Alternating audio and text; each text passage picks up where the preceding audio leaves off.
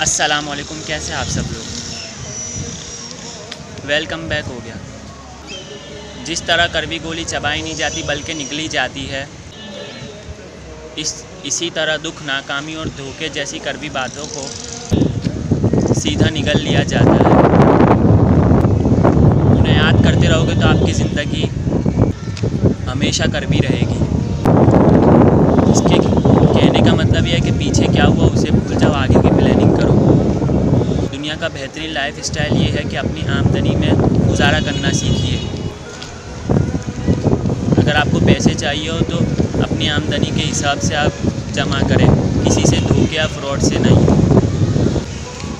अगर आपको अपने ख्वाब पूरे करने तो आप अपने पैसों से करोगे तो उसी में मज़ा है। और अल्लाह की रजामंदी भी। और हमेशा हलाल खाइए। और अल्लाह से उम्मीद रखो।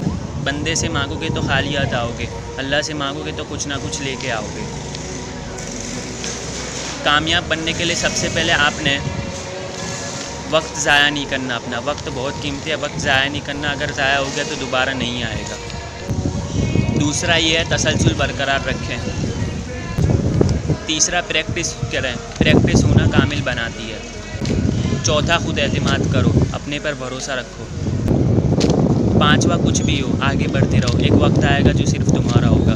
जितनी भी मुश्किल आए, आगे बढ़ते रहो आप। छट्टा कभी सीखना बंद नहीं करना। सातवा, हर हाल हर हाल में आप खुश रहो। ऐसे नहीं कि अगर आप हार गए तो आप उदास हो जाओ। हर हाल में आप खुश रहो।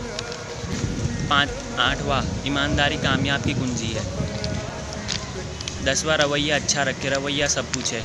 लोगों के साथ आपकी बातचीत क्या है, वो सब अच्छी होनी चाहिए। ग्यारहवा कभी हन ना माने। सब्र रखें।